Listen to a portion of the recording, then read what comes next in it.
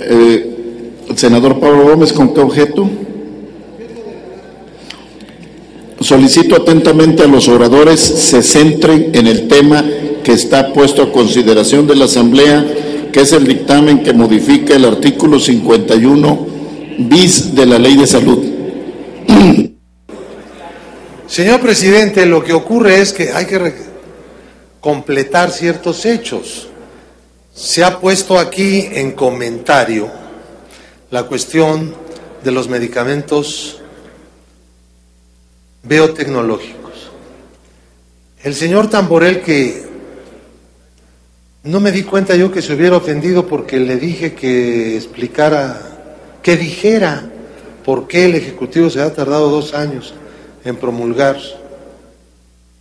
Y a media lengua ha dicho que porque se necesitaba una negociación entre productores, léase laboratorios.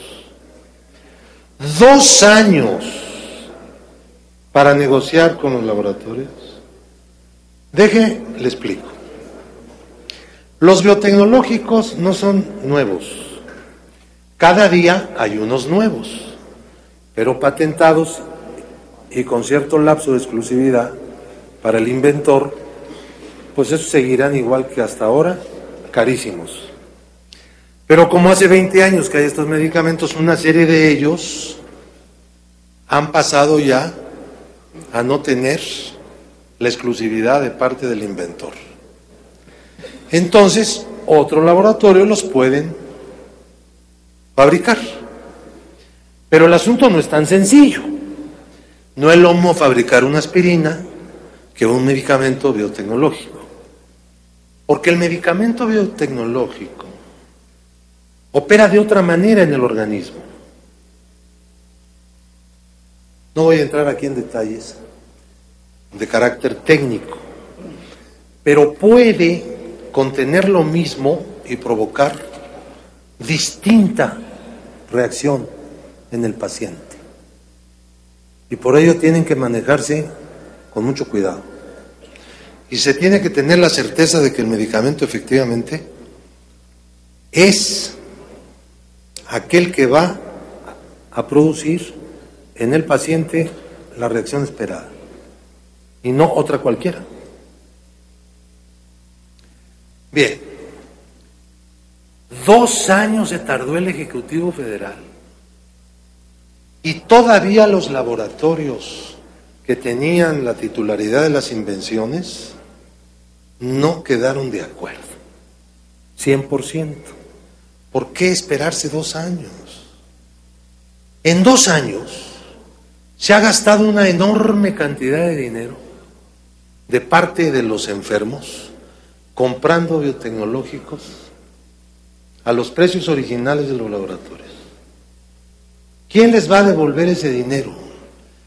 El Congreso dio la ley, ingenuamente, pensando que en este país hay un ejecutivo que no es indolente, que es responsable, que cumple con su deber, que es probo y que inmediatamente, bueno, yo supongo unos meses para las autoridades de salud del país analizar la situación que ya la conocían y llegar a las conclusiones de cómo deben hacerse las pruebas previas que la ley determina. Estar pensando en qué consisten esas pruebas clínicas. Dos años. Bueno, y así estamos en relación con otras reformas. Hay una campaña diciendo, Congreso, reforma, no, no das las reformas, no expide los decretos. Bueno, no, no hay una serie de, decretos que no expedimos y yo soy uno de los primeros que lo subrayo todo el tiempo. Sí somos responsables.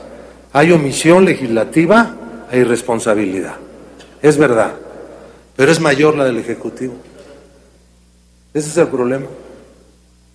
A nivel de reglamentos es mayor y a nivel de aplicación de leyes. No voy a dejar de repetir la urgencia con la que nos pidieron la prescripción de dominio. y no la han aplicado. Una vez la aplicaron, creo que con un coche o con una casa,